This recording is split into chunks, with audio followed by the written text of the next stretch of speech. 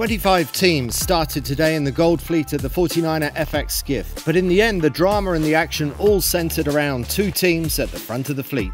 It was the Swedish duo, Vilma Bobeck and Rebecca Netzler, who were up against the German mixed crew. Sophie Steinlein from the Norddeutsche Regatta Verein is racing this week with her coach, the two-time bronze medal winner at the Olympics, Tommy Plössl from Hamburg. So, a variation from the Olympic norm of two women racing together in the FX, but mixed crews are permitted to race at Kieler Woche. And so today on the TV course, an exciting duel developed between the two teams across four Gold Fleet races. 10 to 15 knots of wind and a long wave pattern made for great sailing conditions. It soon became obvious that Steinlein and Bobeck would be a good match for each other. On the upwind leg, Steinlein Plössl always eked out a small advantage. On the downwind, however, the Swedes turned up the heat and won the first two races of the day. The third race of the day was very dramatic. The two Swedes thought they were already the winners and sailed past the Germans, but didn't realise that the race committee had planned three rounds instead of only two. Bobeck and Netzler sailed towards the supposed finish, but then had to unwind their mistake and sail back to the gate to rejoin the field from behind. Because of this mistake, the two women from the Royal Swedish Yacht Club finished sixth